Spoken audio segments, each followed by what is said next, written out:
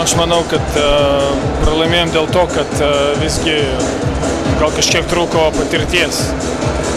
Ir susikaupimo tokias klaidas pradėjom daryti gynyboje antram kelinį, kad aš nežinau, nu, vaikiškus tikrai paliekam žmogų metikus, geriausius vos ne Europo metikus, laisvus. Nu, tai negalima žaisti, aišku. Bet vyrai kovojo ir išvaistėm tokią persvarą, tai aš nežinau. Šiaip labai skaudu. Padarys.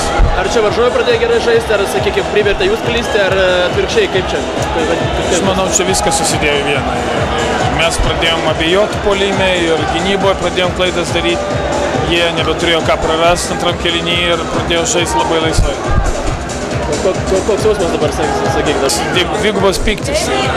Pats negali žaisti ir, ir komanda pralaimėjo. Norisi kažką, kaip pasakyti, nežinau. Gal sekančios varžybos atsijęs. Ar tiesa, kad kitą savaitę jau, jau lik planuoja prisijungti prie komandos jau varžybose? Ar... Nu, nežinau, čia tikrai sunku pasakyti, nes man reikia dar su komanda treniruotis, o to dar nedariau. Taip.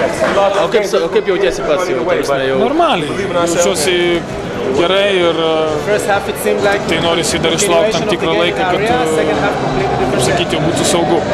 Žinai, dabar kol kas ne, negalvoju, dabar apie sezoną galvoju ir tiksliau apie, pirmą apie savo kelią, po to jau galvosiu apie sezoną.